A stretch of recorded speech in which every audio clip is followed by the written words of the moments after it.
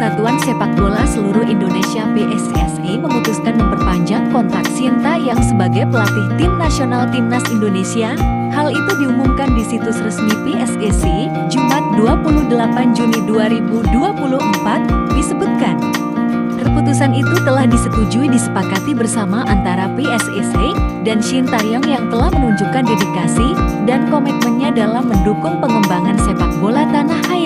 Dengan perpanjangan kontrak Shin Taeyong, PSSI menegaskan tekad meningkatkan kualitas dan prestasi sepak bola Indonesia secara keseluruhan kerjasama antara PSSI, Shin Taeyong, dan seluruh anggota tim nasional lain seperti pemain, ofisial, dan pelatih lain diharapkan akan membawa pencapaian yang gemilang bagi sepak bola Indonesia.